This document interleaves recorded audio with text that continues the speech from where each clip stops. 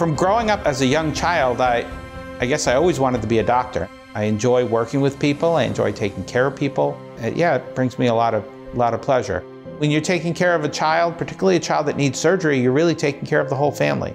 And a lot of times kids are wearing something that says something about them or something they're interested in, and I'll ask them about that.